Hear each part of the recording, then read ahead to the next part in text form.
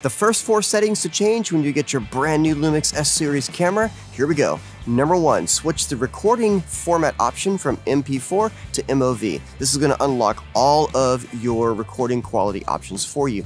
Number two, the exposure settings for video, switch that to manual, the M. By default, that's set to P, which is program. Secondary to that, also, you're going to have a setting for auto exposure in PASM. By default, that's going to be turned on. Switch that to off. That's going to allow you to control your exposure on your own.